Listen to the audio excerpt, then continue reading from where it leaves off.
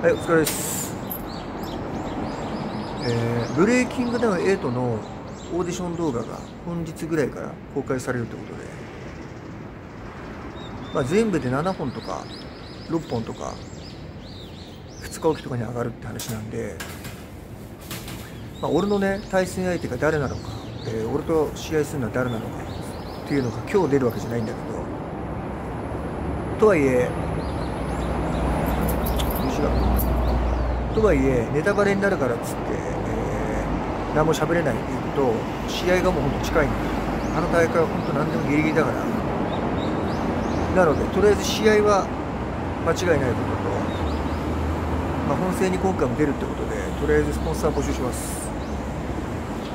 俺と一緒に戦ってくれる方。玲子のツイッターの DM の方に DM ください。今回は、えー言うまでもなく強敵です。いや本当にあいつ強そうだったなまあでも普通に勝つかなと思います。てるくんがね前回オーディションですごい大怪我しちゃってかわいそうに。で実はねその陰で俺も怪我してたんだけど、まあ、そんな大怪我じゃないけど。まともな練習ちゃんと集中できなかったんだけど、まあ、それでもね毎日練習ちゃんとしてたんで、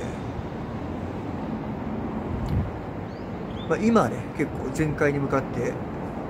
やれてます。打撃の精度も上がってるし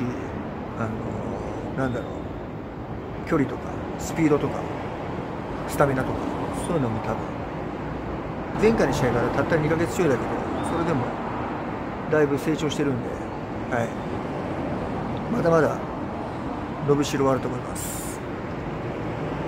一緒に戦いましょう。玲子に DM ください。あと、えーあとは5月17に俺の日めくりカレンダー関係ねえよっていうのが発売されるんだけど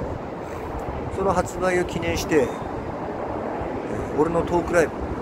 講演会トークライブみたいのを6月の1日木曜日、7時スタートで代々木のロッチっていうライブハウス。代々木のロッチっていうライブハウスで、俺のトークライブやります、ま、テーマとか何も決めてないし試合の後なんで、ま、何話すか分かんないけど、まあ、何か話します。でサイン会とかもやるかなまあ撮れたら一緒に写真も撮ってみたいな感じです。1人2500円プラスワンドリンク。でカレンダーを買ってくれるカレンダー付きだと入場が3500円かな。カレンダーなしだと2500円にワンドリンク。ドリンクが高いよなあの。まあそれでもね行ってよかったと思ってもらえるようなねトークをしますんでそんなとこまあぜひ足を運んでください。じゃああとねそうそう悲しいニュースが飛び込んできて配信会ふわっちとかニコ生とかツイキャスとかの、えーいわゆる配信会で活躍してたうなちゃんマン、立川の狂犬こと佐野だっけことうなちゃんマンが亡くなったってことでね非常にショックを受けてます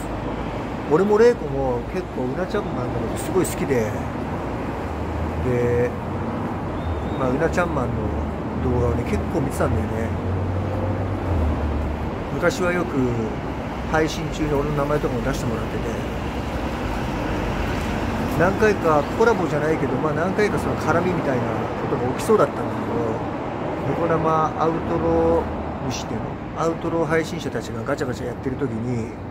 まあ、そこに俺らも俺もガチャガチャ入ってやりたいなっていう流れがあってそうそう。でも実現しなかったんだよね。うなちゃんマンとは。その後にちゃんマンズバーだっけ？うなちゃんが大阪の方でお店やってて。そこにも行きたいねって玲子といつも言ってたんだよね。でも実は、えー、生前のナチャンマンには一度もお会いしたことなくてそして今回、えー、そういう訃報を聞いてね本当に残念に思ってます。結構本当に彼の声だったり彼のあのねキャラクターだったり彼の人間性とか結構本当にすごい好きでユナ・チャンマンは、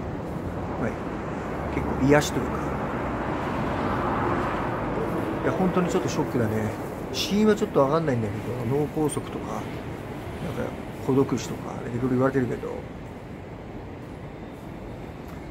まあだからあれだよね。配信系の人とかに多いけど結構みんな酒飲んで不節制しててで